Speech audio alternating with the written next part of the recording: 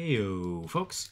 So the last few weeks I've been gathering testing feedback from my alpha testers, and now I am working on obviously fixing lots of bugs and miscellaneous changes, but I have two main design goals that I'm also working on, which relate to combat. The first thing is to make the combat feel a little more satisfying, a little more punchy, and make it so in general that the player's actions have more impact in order to kind of streamline the combat process and make it feel more satisfying. Uh, that I will talk about more in a future video because I'm still working through all those changes. But another goal I have is to make the combat easier to learn, and a core part of the combat system is also equipping charms. And so I'm going to show one thing today, a tiny improvement I made today that I think will help with that regard, which is for some of these charms, first of all, most charms have had more than one effect they would have. And for now, I've simplified it to charms do one thing. Uh, so this Pendant Light only increases your light elemental damage. And the second thing you did is down here, you can see I've added this gray text that describes what that effect actually means that I can put on to charms that do only have one effect. There's enough space in the box for that. And since these are the ones you're going to start the game with, I figure that's a great way to at least give a brief explanation of what these effects do. So here's some of the other ones.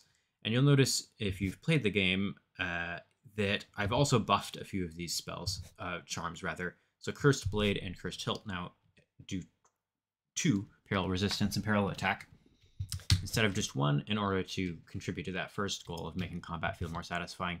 The charms are stronger. But the biggest thing here is these gray text to show that.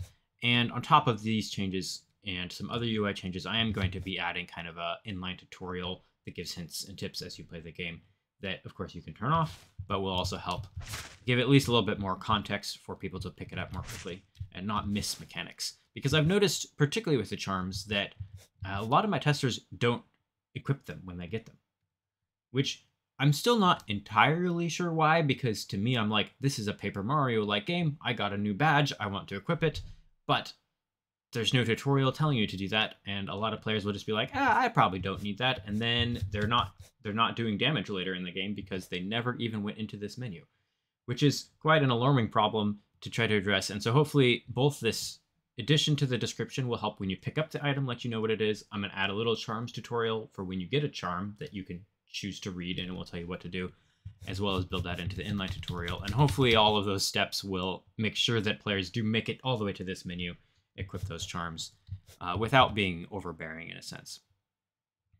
Uh, but yeah, that's just one of the the biggest problems I found I run into with the testing is just the the, the lack of explanation for what all these things do. And uh, hopefully those are some steps in the right direction.